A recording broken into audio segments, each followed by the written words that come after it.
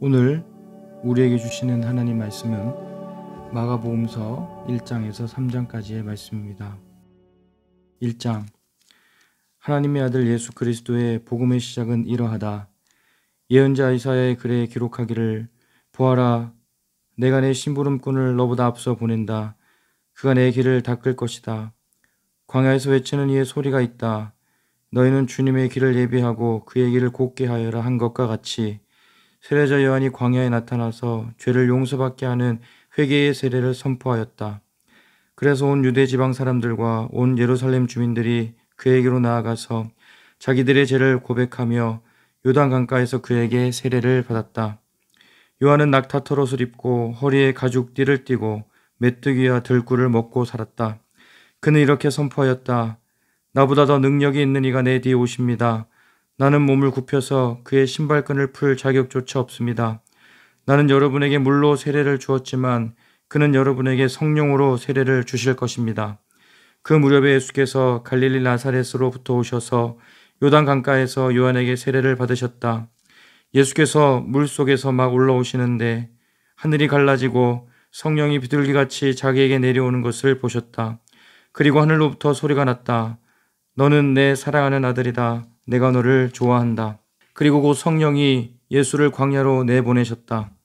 예수께서 40일 동안 광야에 계셨는데 거기서 사탄에게 시험을 받으셨다. 예수께서 들 짐승들과 함께 지내셨는데 천사들이 그의 시중을 들었다. 요한이 잡힌 뒤에 예수께서 갈릴리에 오셔서 하나님의 복음을 선포하셨다. 때가 찼다. 하나님의 나라가 가까이 왔다. 회개하여라. 복음을 믿어라. 예수께서 갈릴리 바닷가를 지나가시다가 시몬과 그의 동생 안드레가 바다에서 그물을 던지고 있는 것을 보셨다. 그들은 어부였다. 예수께서 그들에게 말씀하셨다. 나를 따라오너라. 내가 너희를 사람을 낚는 어부가 되게 하겠다. 그들은 곧 그물을 버리고 예수를 따라갔다. 예수께서 조금 더 가시다가 세베대의 아들 야고보와 그의 동생 요한이 배에서 그물을 깁고 있는 것을 보시고 곧바로 그들을 부르셨다. 그들은 아버지 세베대의 일꾼들과 함께 배에 남겨두고 곧 예수를 따라갔다. 그들은 가버나움으로 들어갔다. 예수께서 안식일에 곧바로 회당에 들어가서 가르치셨는데 사람들은 그의 가르침에 놀랐다. 예수께서 율법학자들과는 달리 권위 있게 가르치셨기 때문이다. 그때의 회당에 악한 귀신 들린 사람이 하나 있었는데 그가 큰 소리로 이렇게 말하였다. 나사렛 사람 예수님, 왜 우리를 간섭하려 하십니까? 우리를 없애려고 오셨습니까? 나는 당신이 누구인지 압니다. 하나님께서 보내신 거룩한 분입니다. 예수께서 그를 꾸짖어 말씀하셨다. 입을 다물고 이 사람에게서 나가라. 그러자 악한 귀신은 그에게 경련을 일으켜 놓고서 큰 소리를 지르며 떠나갔다. 사람들이 모두 놀라서 이게 어찌된 일이냐? 권위 있는 새로운 가르침이다. 그가 악한 귀신들에게 명하시니 그들도 복종하는구나 하면서 서로 물었다. 그리하여 예수의 소문이 곧 갈릴리 주위의 온 지역에 두루 퍼졌다. 그들은 회당에서 나와서 곧바로 야고보와 요한과 함께 시몬과 안드레의 집으로 갔다. 마침 시본의 장모가 열병으로 누워 있었는데 사람들은 그 사정을 예수께 말씀드렸다. 예수께서 그 여자에게 다가가셔서 그 손을 잡아 일으키시니 열병이 떠나고 그 여자는 그들의 시중을 들었다. 해가 져서 날이 저물 때에 사람들이 모든 병자와 귀신 들린 사람을 예수께로 데리고 왔다. 그리고 온 동네 사람이 문 앞에 모여들었다. 그는 온갖 병에 걸린 사람들을 고쳐주시고 많은 귀신을 내쫓으셨다. 예수께서는 귀신들이 말하는 것을 허락하지 않으셨다. 그들이 예수가 누구인지를 알았기 때문이다. 아주 이른 새벽에 예수께서 일어나서 외딴 곳으로 나가셔서 거기에서 기도하고 계셨다. 그때 시몬과 그의 일행이 예수를 찾아 나섰다. 그들은 예수를 만나자 모두 선생님을 찾고 있습니다 하고 말하였다. 예수께서 그들에게 말씀하셨다. 가까운 여러 고을로 가자. 거기에서도 내가 말씀을 선포해야 하겠다. 나는 이 일을 하러 왔다. 예수께서 온 갈릴리와 여러 회당을 두루 찾아가셔서 말씀을 전하고 귀신들을 쫓아내셨다. 나병 환자 한 사람이 예수께로 와서 그 앞에 무릎을 꿇고 간청하였다. 선생님께서 하고자 하시면 나를 깨끗하게 해 주실 수 있습니다. 예수께서 그를 불쌍히 여기시고 손을 내밀어 그에게 대주고 말씀하셨다. 그렇게 해주마 깨끗하게 되어라. 곧 나병이 그에게서 떠나고 그는 깨끗하게 되었다. 예수께서 단단히 이르시고 곧 그를 보내셨다. 그때 예수께서 그에게 말씀하셨다. 아무에게도 아무 말도 하지 말아라. 가서 제사장에게 내 몸을 보이고 내가 깨끗하게 된 것에 대하여 모세가 명령한 것을 바쳐서 사람들에게 증거로 삼도록 하여라. 그러나 그는 나가서 모든 일을 널리 알리고 그 이야기를 퍼뜨렸다. 그러므로 예수께서는 드러나게 동네로 들어가지 못하시고 바깥 외딴 곳에 머물러 계셨다. 그래도 사람들이 사방에서 예수께로 모여들었다. 2장 며칠이 지나서 예수께서 다시 가버나움으로 들어가셨다. 예수가 집에 계신다는 말이 퍼지니 많은 사람이 모여들어서 마침내 문 앞에 조차도 들어설 자리가 없었다. 예수께서 그들에게 말씀을 전하셨다. 그때 한 중풍병 환자를 네 사람이 데리고 왔다. 무리 때문에 예수께로 데리고 갈 수 없어서 예수가 계신 곳 위에 지붕을 걷어내고 구멍을 뚫어서 중풍병 환자가 누워있는 자리를 달아내렸다. 예수께서는 그들의 믿음을 보시고 중풍병 환자에게 이 사람아 내 죄가 용서받았다 하고 말씀하셨다. 율법학자 몇이 거기에 앉아 있다가 마음속으로 의아하게 생각하기를 이 사람이 어찌하여 이런 말을 한단 말이냐 하나님을 모독하는구나 하나님 한 분밖에 누가 죄를 용서할 수 있는가 하였다. 예수께서 그들이 속으로 이렇게 생각하는 것을 곧바로 마음으로 알아채시고 그들에게 말씀하셨다. 어찌하여 너희는 마음속에 그런 생각을 품고 있느냐? 중풍병 환자에게 내 죄가 용서받았다 하고 말하는 것과 일어나서 내 자리를 걷어서 걸어가거라 하고 말하는 것 가운데서 어느 쪽이 더 말하기가 쉬우냐? 그러나 인자가 땅에서 죄를 용서하는 권세를 가지고 있음을 너에게 알려주겠다. 예수께서 중풍병 환자에게 말씀하셨다. 내가 내게 말한다. 일어나서 내 자리를 걷어서 집으로 가거라. 그러자 중풍병 환자가 일어나 곧바로 모든 사람이 보는 앞에서 자리를 걷어서 나갔다. 사람들은 모두 크게 놀라서 하나님을 찬양하고 우리는 이런 일을 전혀 본 적이 없다 하고 말하였다. 예수께서 다시 바닷가로 나가셨다. 무리가 모두 예수께로 나오니 그가 그들을 가르치셨다. 예수께서 길을 가시다가 알페오의 아들 레위가 세관에 앉아 있는 것을 보시고 말씀하셨다. 나를 따라오너라. 레위는 일어나서 예수를 따라갔다. 예수께서 그의 집에서 음식을 잡수시는데 많은 세리와 죄인들도 예수와 그의 제자들과 한 자리에 있었다. 이런 사람들이 많이 있었는데 그들이 예수를 따라왔던 것이다. 바리세파 율법학자들이 예수가 죄인들과 세례들과 함께 음식을 잡수시는 것을 보고 예수의 제자들에게 말하였다. 저 사람은 세례들과 죄인들과 어울려서 음식을 먹습니까? 예수께서 그 말을 들으시고 그들에게 말씀하셨다. 건강한 사람에게는 의사가 필요하지 않으나 병든 사람에게는 필요하다. 나는 의인을 부르러 온 것이 아니라 죄인을 부르러 왔다. 요한의 제자들과 바리세파 사람들은 금식하고 있었다. 사람들이 예수께 와서 물었다. 요한의 제자들과 바리세파 사람의 제자들은 금식하는데 왜 선생님의 제자들은 금식하지 않습니까? 예수께서 그들에게 말씀하셨다. 혼인잔치에 온 손님들이 신랑과 함께 있는 동안에 금식할 수 있느냐? 신랑을 자기들 곁에 두고 있는 동안에는 금식할 수 없다. 그러나 신랑을 빼앗길 날이 올 터인데 그날에는 그들이 금식할 것이다. 생배 조각을 낡은 옷에 대고 깁는 사람은 없다. 그렇게 하면 새로 된 조각이 낡은 데를 당겨서 더욱더 심하게 찢어진다. 또 새 포도주를 낡은 가죽 부대에 담는 사람도 없다. 그렇게 하면 포도주가 가죽 부대를 터뜨려서 포도주도 가죽 부대도 다 버리게 된다. 새 포도주는 새 가죽 부대에 담아야 한다. 안식일에 예수께서 밀밭 사이로 지나가시게 되었다. 제자들이 길을 내면서 밀리삭을 자르기 시작하였다. 바리스파 사람이 예수께 말하였다. 보십시오. 어찌하여 이 사람들은 안식일에 해서는 안 되는 일을 합니까? 예수께서 그들에게 말씀하셨다. 다윗과 그 일행이 먹을 것이 없어서 굶주릴 때에 다윗이 어떻게 하였는지를 너희는 읽지 못하였느냐? 아비아달 대제사장 때에 다윗이 하나님의 집에 들어가서 제사장들 밖에는 먹어서는 안 되는 제단빵을 먹고 그 일행에게도 주지 않았느냐?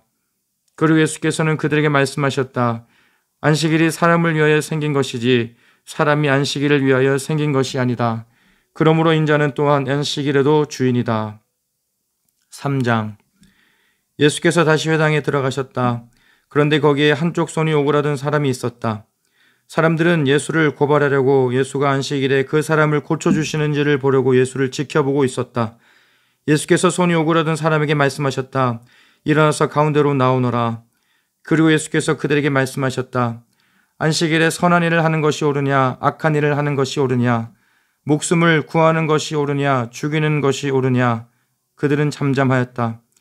예수께서 노하셔서 그들을 둘러보시고 그들의 마음이 굳어진 것을 탄식하면서 손이 오그라든 사람에게 말씀하셨다. 손을 내밀어라. 그 사람이 손을 내미니 그의 손이 회복되었다. 그러자 바리스파 사람들은 바깥으로 나가서 곧바로 회독단원들과 함께 예수를 없앨 모의를 하였다. 예수께서 제자들과 함께 바닷가로 물러가시니 갈릴리에서 많은 사람이 따라왔다. 또한 유대와 예루살렘과 이두메와 요단강 건너편과 그리고 두로와 시돈 근처에서도 많은 사람이 그가 하신 모든 일을 소문으로 듣고 그에게로 몰려왔다. 예수께서는 무리가 자기에게 밀려드는 혼잡을 피하시려고 제자들에게 분부하여 작은 배 한 척을 마련하게 하셨다. 그가 많은 사람을 고쳐주었으므로 온갖 병으로 고통받는 사람들이 누구나 그에게 손을 대려고 밀려들었기 때문이다. 또 악한 귀신들은 예수를 보기만 하면 그 앞에 엎드려서 외쳤다. 당신은 하나님의 아들입니다. 그러면 예수님께서는 나를 세상에 드러내지 말아라 하고 그들을 엄하게 꾸짖으셨다. 예수께서 산에 올라가셔서 원하시는 사람들을 부르시니 그들이 예수께로 나왔다. 예수께서 열두를 세우시고 그들을 또한 사도라고 이름하셨다. 이것은 예수께서 그들을 자기와 함께 있게 하시고 또 그들을 내보내어서 말씀을 전파하게 하시며 귀신을 쫓아내는 권능을 가지게 하시려는 것이었다. 예수께서 열두를 임명하셨는데 그들은 베드로라고 이름을 덧붙여 주신 시몬과 천둥이 아들의 뜻하는 보아노게라는 이름을 덧붙여 주신 세베대의 아들들인 야고보와 그의 동생 요한과 안드레와 빌립과 바돌로메와 마테와 도마와 알페오의 아들 야고보와 다데오와 열혈 당원 시몬과 예수를 넘겨준 가룟 유다이다. 예수께서 집에 들어가시니 무리가 다시 모여들어서 예수의 일행은 음식을 먹을 겨를도 없었다. 예수의 가족들이 예수가 미쳤다는 소문을 듣고서 그를 붙잡으러 나섰다. 예루살렘에서 내려온 율법학자들은 예수가 바알세불이 들렸다고 하고 또 그가 귀신의 두목에 힘을 빌어서 귀신을 쫓아낸다고도 하였다. 그래서 예수께서 그들을 불러놓고 비유로 그들에게 말씀하셨다. 사탄이 어떻게 사탄을 쫓아낼 수 있느냐? 한 나라가 갈라져서 서로 싸우면 그 나라는 버틸 수 없다. 또 한 가정이 갈라져서 싸우면 그 가정은 버티지 못할 것이다. 사탄이 스스로에게 반란을 일으켜서 갈라지면 버틸 수 없고 끝장이 난다. 먼저 힘센 사람을 묶어놓지 않고서는 아무도 그 사람의 집에 들어가서 세간을 털어갈 수가 없다. 묶어놓은 뒤에야 그 집을 털어갈 것이다. 내가 진정으로 너에게 말한다. 사람들이 짓는 모든 죄와 그들이 하는 어떤 비방도 용서를 받을 것이다. 그러나 성령을 모독하는 사람은 용서를 받지 못하고 영원한 죄에 매인다. 예수께서 이 말씀을 하신 것은 사람들이 그는 악한 귀신이 들렸다 하고 말하였기 때문이다. 그때에 예수의 어머니와 동생들이 찾아와 바깥에 서서 사람을 들여보내어 예수를 불렀다. 무리가 예수의 주위에 둘러앉아 있다가 그에게 말하였다. 보십시오. 선생님의 어머니와 동생들과 누이들이 바깥에서 선생님을 찾고 있습니다. 예수께서 그들에게 대답하셨다. 누가 내 어머니이며 내 형제들이냐? 그리고 주위에 둘러앉은 사람들을 둘러보시고 말씀하셨다. 보아라, 내 어머니와 내 형제 자매들이다. 누구든지 하나님의 뜻을 행하는 사람이 곧 내 형제요, 자매요, 어머니다. 아멘. 오늘도 행복한 하루 보내시기를 바랍니다.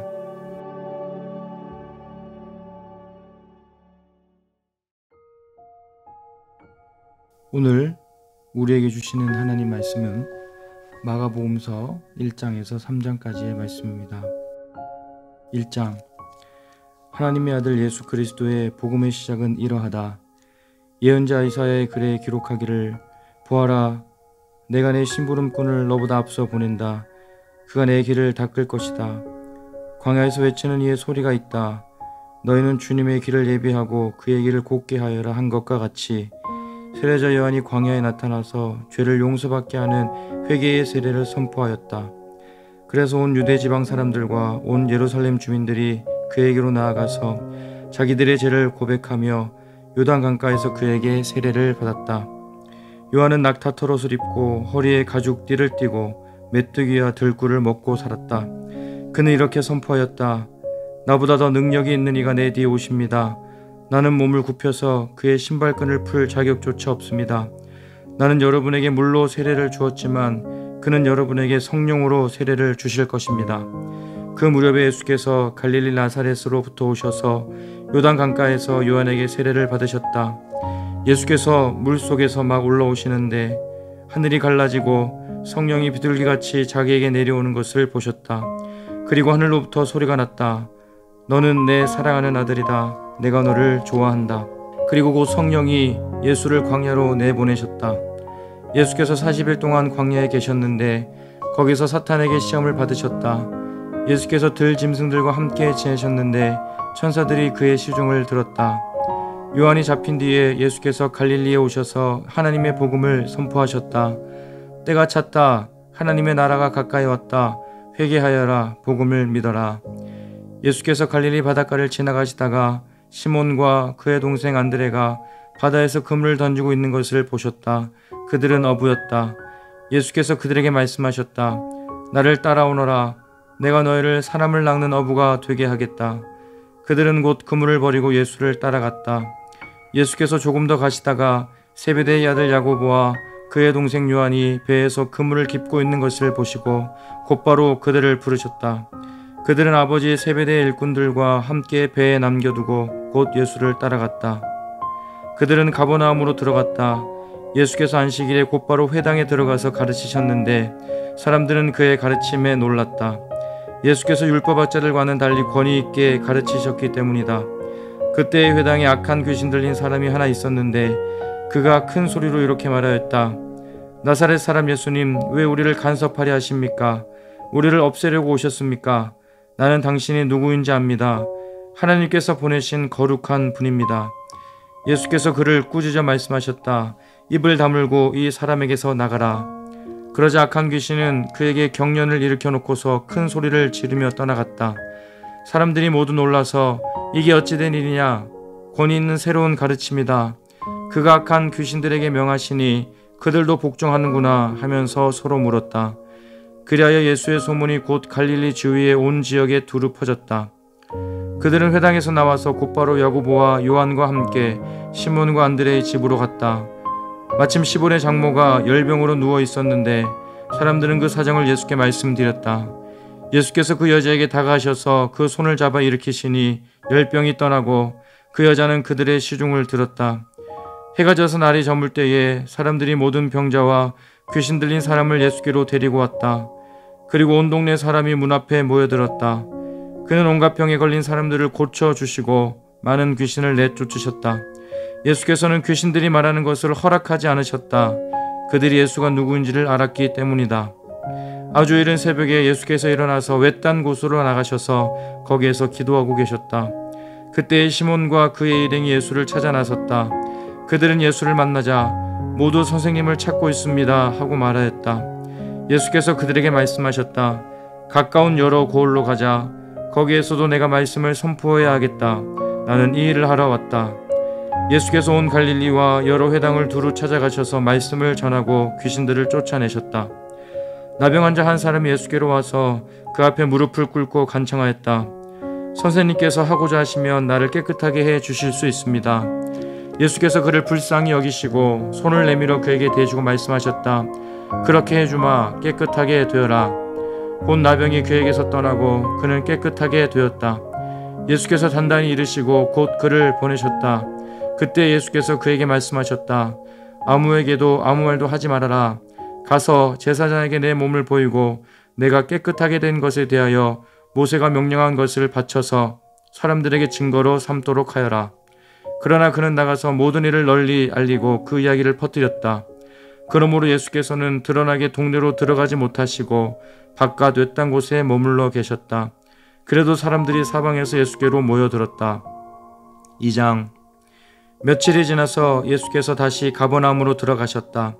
예수가 집에 계신다는 말이 퍼지니 많은 사람이 모여들어서 마침내 문 앞에 조차도 들어설 자리가 없었다. 예수께서 그들에게 말씀을 전하셨다. 그때의 한 중풍병 환자를 네 사람이 데리고 왔다. 무리 때문에 예수께로 데리고 갈 수 없어서 예수가 계신 곳 위에 지붕을 걷어내고 구멍을 뚫어서 중풍병 환자가 누워있는 자리를 달아내렸다. 예수께서는 그들의 믿음을 보시고 중풍병 환자에게 이 사람아 내 죄가 용서받았다 하고 말씀하셨다. 율법학자 몇이 거기에 앉아 있다가 마음속으로 의아하게 생각하기를 이 사람이 어찌하여 이런 말을 한단 말이냐 하나님을 모독하는구나 하나님 한 분밖에 누가 죄를 용서할 수 있는가 하였다. 예수께서 그들이 속으로 이렇게 생각하는 것을 곧바로 마음으로 알아채시고 그들에게 말씀하셨다. 어찌하여 너희는 마음속에 그런 생각을 품고 있느냐? 중풍병 환자에게 내 죄가 용서받았다 하고 말하는 것과 일어나서 내 자리를 걷어서 걸어가거라 하고 말하는 것 가운데서 어느 쪽이 더 말하기가 쉬우냐? 그러나 인자가 땅에서 죄를 용서하는 권세를 가지고 있음을 너에게 알려주겠다. 예수께서 중풍병 환자에게 말씀하셨다. 내가 내게 말한다. 일어나서 내 자리를 걷어서 집으로 가거라. 그러자 중풍병 환자가 일어나 곧바로 모든 사람이 보는 앞에서 자리를 걷어서 나갔다. 사람들은 모두 크게 놀라서 하나님을 찬양하고 우리는 이런 일을 전혀 본 적이 없다 하고 말하였다. 예수께서 다시 바닷가로 나가셨다. 무리가 모두 예수께로 나아오니 그가 그들을 가르치셨다. 예수께서 길을 가시다가 알페오의 아들 레위가 세관에 앉아 있는 것을 보시고 말씀하셨다. 나를 따라오너라. 레위는 일어나서 예수를 따라갔다. 예수께서 그의 집에서 음식을 잡수시는데 많은 세리와 죄인들도 예수와 그의 제자들과 한 자리에 있었다. 이런 사람들이 많이 있었는데 그들이 예수를 따라왔던 것이다. 바리새파 율법학자들이 예수가 죄인들과 세례들과 함께 음식을 잡수시는 것을 보고 예수의 제자들에게 말하였다. 저 사람은 세례들과 죄인들과 어울려서 음식을 먹습니까? 예수께서 그 말을 들으시고 그들에게 말씀하셨다. 건강한 사람에게는 의사가 필요하지 않으나 병든 사람에게는 필요하다. 나는 의인을 부르러 온 것이 아니라 죄인을 부르러 왔다. 요한의 제자들과 바리새파 사람들은 금식하고 있었다. 사람들이 예수께 와서 물었다. 요한의 제자들과 바리새파 사람의 제자들은 금식하는데 왜 선생님의 제자들은 금식하지 않습니까? 예수께서 그들에게 말씀하셨다. 혼인잔치에 온 손님들이 신랑과 함께 있는 동안에 금식할 수 있느냐? 신랑을 자기들 곁에 두고 있는 동안에는 금식할 수 없다. 그러나 신랑을 빼앗길 날이 올 터인데 그날에는 그들이 금식할 것이다. 생배 조각을 낡은 옷에 대고 깁는 사람은 없다. 그렇게 하면 새로 된 조각이 낡은 데를 당겨서 더욱더 심하게 찢어진다. 또 새 포도주를 낡은 가죽 부대에 담는 사람도 없다. 그렇게 하면 포도주가 가죽 부대를 터뜨려서 포도주도 가죽 부대도 다 버리게 된다. 새 포도주는 새 가죽 부대에 담아야 한다. 안식일에 예수께서 밀밭 사이로 지나가시게 되었다. 제자들이 길을 내면서 미리삭을 자르기 시작하였다. 바리스파 사람이 예수께 말하였다. 보십시오. 어찌하여 이 사람들은 안식일에 해서는 안 되는 일을 합니까? 예수께서 그들에게 말씀하셨다. 다윗과 그 일행이 먹을 것이 없어서 굶주릴 때에 다윗이 어떻게 하였는지를 너희는 읽지 못하였느냐? 아비아달 대제사장 때에 다윗이 하나님의 집에 들어가서 제사장들 밖에는 먹어서는 안 되는 제단빵을 먹고 그 일행에게도 주지 않았느냐? 그리고 예수께서는 그들에게 말씀하셨다. 안식일이 사람을 위하여 생긴 것이지 사람이 안식일을 위하여 생긴 것이 아니다. 그러므로 인자는 또한 안식일에도 주인이다. 3장 예수께서 다시 회당에 들어가셨다. 그런데 거기에 한쪽 손이 오그라든 사람이 있었다. 사람들은 예수를 고발하려고 예수가 안식일에 그 사람을 고쳐주시는지를 보려고 예수를 지켜보고 있었다. 예수께서 손이 오그라든 사람에게 말씀하셨다. 일어나서 가운데로 나오너라. 그리고 예수께서 그들에게 말씀하셨다. 안식일에 선한 일을 하는 것이 옳으냐 악한 일을 하는 것이 옳으냐 목숨을 구하는 것이 옳으냐 죽이는 것이 옳으냐 그들은 잠잠하였다. 예수께서 노하셔서 그들을 둘러보시고 그들의 마음이 굳어진 것을 탄식하면서 손이 오그라든 사람에게 말씀하셨다. 손을 내밀어라. 그 사람이 손을 내미니 그의 손이 회복되었다. 그러자 바리스파 사람들은 바깥으로 나가서 곧바로 회독단원들과 함께 예수를 없앨 모의를 하였다. 예수께서 제자들과 함께 바닷가로 물러가시니 갈릴리에서 많은 사람이 따라왔다. 또한 유대와 예루살렘과 이두메와 요단강 건너편과 그리고 두로와 시돈 근처에서도 많은 사람이 그가 하신 모든 일을 소문으로 듣고 그에게로 몰려왔다. 예수께서는 무리가 자기에게 밀려드는 혼잡을 피하시려고 제자들에게 분부하여 작은 배 한 척을 마련하게 하셨다. 그가 많은 사람을 고쳐 주었으므로 온갖 병으로 고통받는 사람들이 누구나 그에게 손을 대려고 밀려 들었기 때문이다. 또 악한 귀신들은 예수를 보기만 하면 그 앞에 엎드려서 외쳤다. 당신은 하나님의 아들입니다. 그러면 예수님께서는 나를 세상에 드러내지 말아라 하고 그들을 엄하게 꾸짖으셨다. 예수께서 산에 올라가셔서 원하시는 사람들을 부르시니 그들이 예수께로 나왔다. 예수께서 열두를 세우시고 그들을 또한 사도라고 이름하셨다. 이것은 예수께서 그들을 자기와 함께 있게 하시고 또 그들을 내보내어서 말씀을 전파하게 하시며 귀신을 쫓아내는 권능을 가지게 하시려는 것이었다.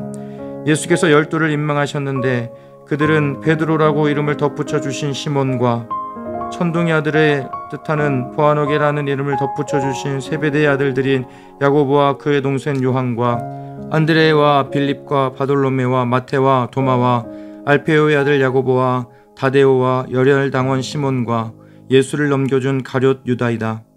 예수께서 집에 들어가시니 무리가 다시 모여들어서 예수의 일행은 음식을 먹을 겨를도 없었다. 예수의 가족들이 예수가 미쳤다는 소문을 듣고서 그를 붙잡으러 나섰다. 예루살렘에서 내려온 율법학자들은 예수가 바알 세불이 들렸다고 하고 또 그가 귀신의 두목의 힘을 빌어서 귀신을 쫓아낸다고도 하였다.